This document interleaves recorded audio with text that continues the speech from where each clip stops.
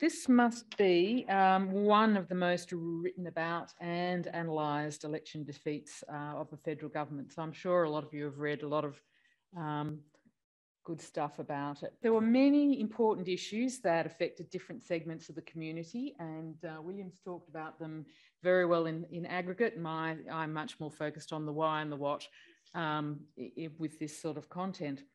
So there were many uh, important issues, different segments uh, of the community in different states. So many of you will remember the meeting we had to analyse the 2019 uh, federal election. And uh, I think my point here is that none of these things are unexplainable or really all that surprising. So I'm going back to that point in history to point out that uh, at the end of that analysis of Labor's loss, I listed the elements of hope, which were um, the volatility of the electorate, that's the fact that a large proportion of people now consider changing their vote, and the importance of narratives, issues, and values built up over time, providing a great deal of opportunity for change uh, in surprising ways, as it turned out this time. So uh, we also have the capacity to engage with people in places like Queensland and in the outer suburbs of Perth because the issues are never as simple as a dichotomy between something like coal and the environment. Uh, it has a lot to do with who cares about us, jobs, the cost of living, and the elements that underpin the well-being of people who don't have high incomes in each of those regions in a modern economy.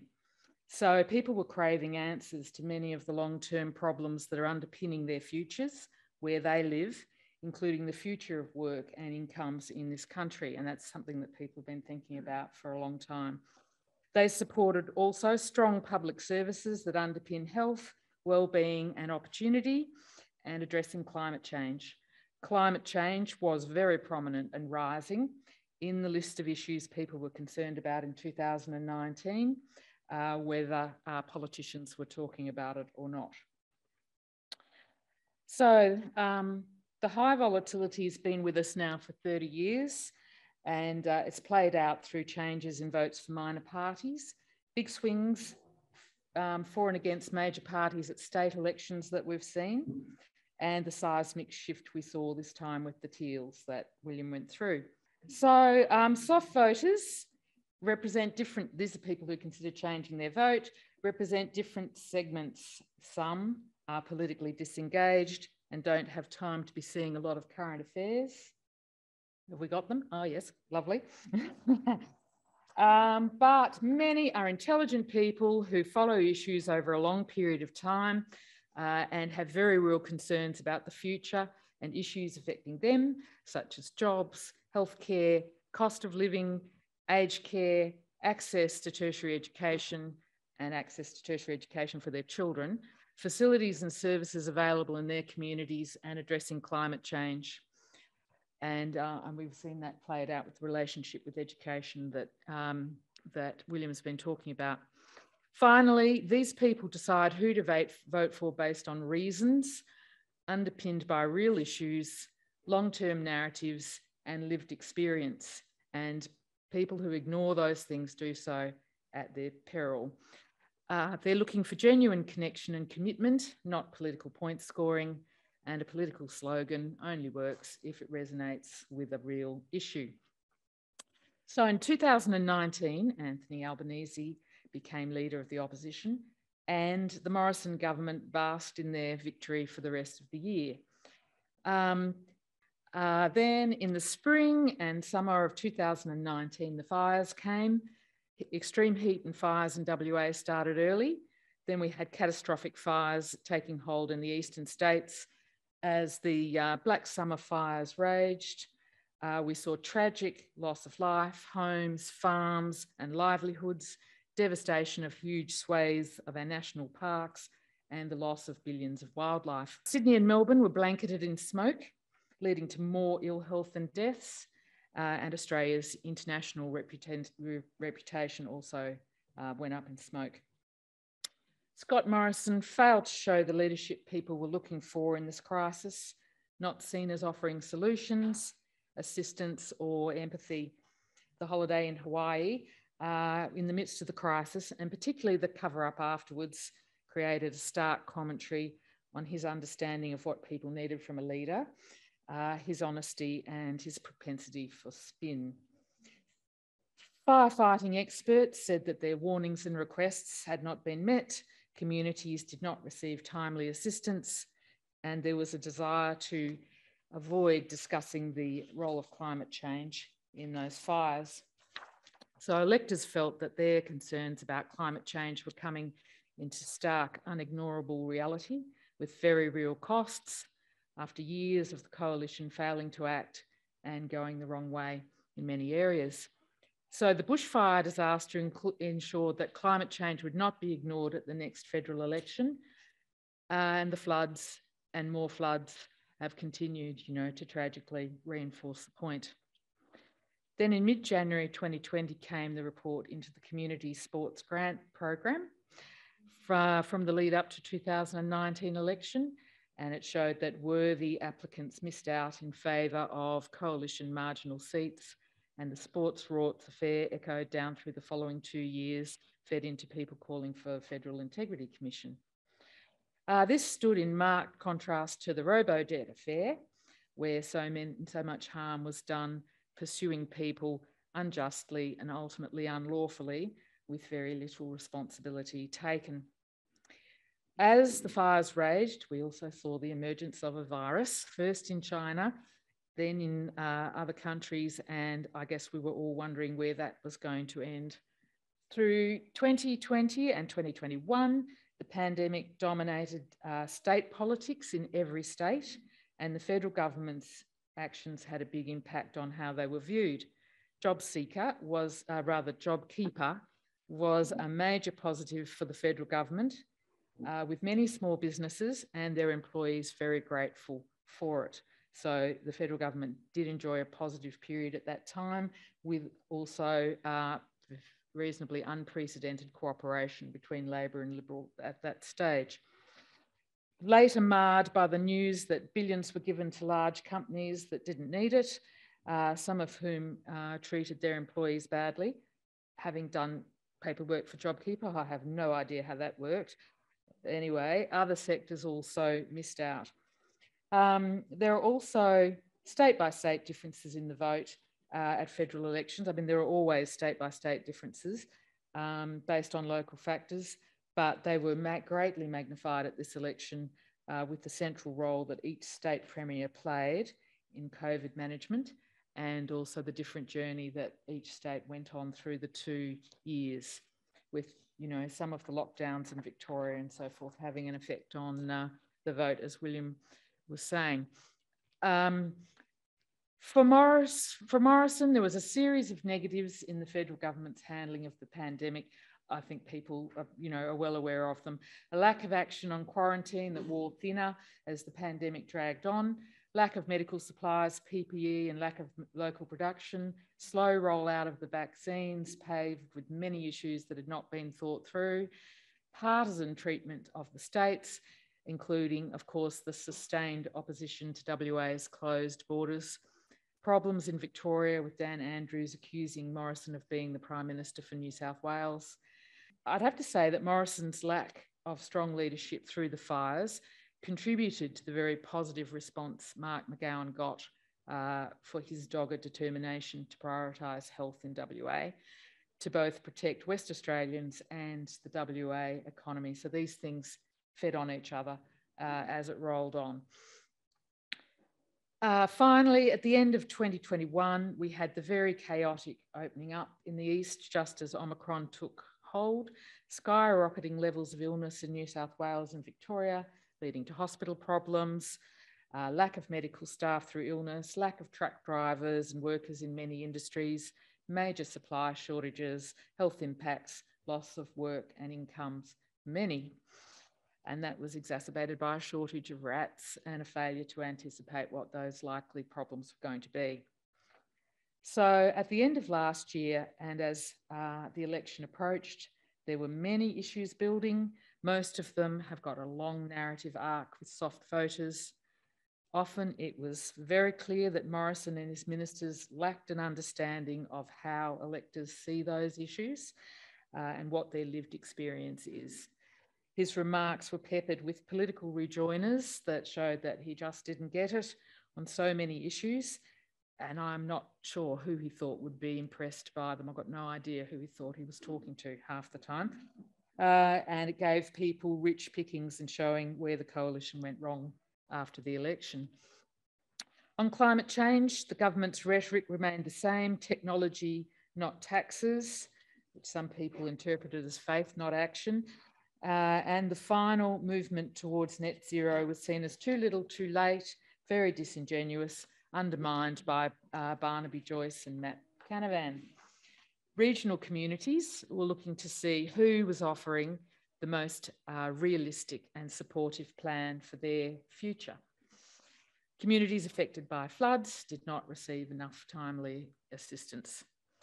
On their understanding of the issues faced by women, starting with Tony Abbott having one woman in, ca in cabinet, treatment of Julie Bishop, on through the issues highlighted by Grace Tame, women in parliament, um, the behaviour of ministers, issues of safety and respect that affect all women, uh, the resistance to quotas, i.e., change in the Liberal Party, right through to the impact of the pandemic on the continuing plight of women in low paid, casualised, and caring professions. Punctuated by breathtakingly ins- insensitive comments made by Mr. Morrison. So there was a great deal of palpable anger that built up among professional women, many of them already interested in lots of other issues, already potentially having uh, moved their vote previous elections. Nevertheless, that layered uh, a strong sense of emotion across the top of all of that and did have a very real effect. Uh, there was um, debates about whether Scott Morrison lies and comments made by people who have worked with him on his own side were extremely damaging. There's the lack of an integrity commission, history of misspending through sports rorts, also resonating with Mr Morrison's reputation for slippery answers rather than genuine action. Uh, as um, uh, also the protracted pre-selection battle in New South Wales, I can't imagine how a government that wanted to be returned could be pre-selecting candidates in key seats within months, let alone weeks, of um, calling an election. And I must say that was when I, when I hadn't fixed that by Christmas, that was when I believed they'd lost. Uh, the Liberals were hoping to lean on traditional strengths of national security and being seen as better economic managers. On China, uh, there have been concerns about China among soft voters over an extended period of time, including the lease of, Dar of Darwin Port in 2015, investment in Australian industries, food security, uh, and recently trade concerns and geopolitical concerns, uh, tensions that we've all heard a lot about. So there were some soft voters who were concerned that Labor might be weak on this issue. However, the Morrison government mishandled it with the debacle around submarines, further damaging our international uh, reputation, apparently leaving a capacity gap in defence, wasting large sums of money. Mr Dutton's comments about preparing uh, for war, extremely counterproductive, damaging for Chinese Australians who felt less safe and moved their votes at the election, as William talked about. And uh, these comments also misread how people see this issue in general. Because those who are concerned about China and about defence in general want to see in intelligent diplomacy, strategic planning, building of a strong ADF and defence capacity, all in order to prevent war. Uh, finally, the Solomon Islands Pact and the lack of positive engagement with our Pacific neighbours showed that the government was not doing a good job on this particular issue at any level. On being better economic managers, got another slide, there it is. Um, on being better economic managers, that's obviously a historical strength for the coalition and Morrison's big thing in 2019, undermined by rising inflation and finally rising interest rates, wages falling behind over years and the rising cost of living, people's lack of faith in the way unemployment and the cost of living are measured, uh, rising numbers of working poor and insecure employment, the the false dichotomy between health and the economy that saw supply lines and business seriously disrupted and then de facto lockdowns, a failure to acknowledge the major economic impacts of climate change, proper energy planning, and a failure to undertake uh, to take advantage of the opportunities with renewable energy. In WA, obviously, the closed borders were clearly much better for the WA economy, people's personal incomes, and ultimately the Australian economy. So, uh, analyses like the ABC's Vote Compass showed that um, people who cited economy, the economy as the top issue, swang away from the coalition in 2022. Feature of the Morrison government and the nine years of coalition government was not doing enough on vital issues that were of concern before and then further heightened through the pandemic. Job insecurity and casual employment, cost of living increases, aged care, homelessness and the high cost of housing, problems facing young people such as jobs and training, housing costs, the need for more manufacturing, more renewable energy, more planning for long-term jobs in Australia. In the background, many other issues uh, where people could not see things, where people could see things going backwards, and that list could be much longer. But I, in there, I've put loss of jobs in the university sector, reductions in grants for science and research and development, undermining the ABC, disability services, and the NDIS. So, why was the uh, Labor first preference relatively low? In WA, it wasn't. Uh, so there was a 7% swing to Labor on first preferences and um, in uh, two party preferred swing in excess of 10%, and an extra senator. Uh, there were also other state by state effects based on COVID experiences, such as in Tasmania and so forth.